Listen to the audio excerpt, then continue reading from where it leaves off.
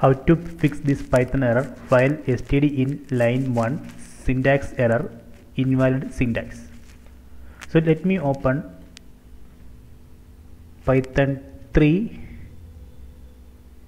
console. Here let me try to print. Print. Hello. So you will get this error file std in line 1 syntax error invalid syntax. So let me open another terminal. Here I am going to open python 2 here let me try print. Hello. See I am not getting any error.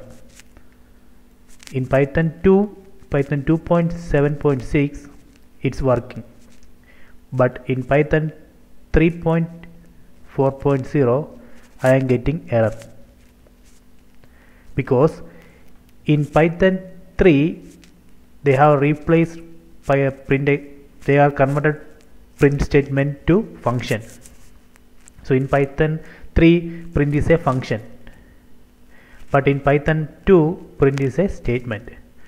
So in python 2 we can also do like this print.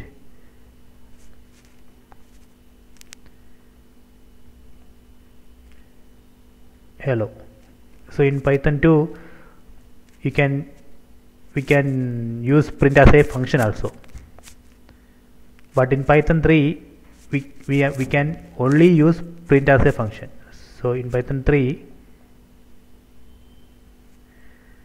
can use so this is a valid statement in python 3 so python 3 support only this way.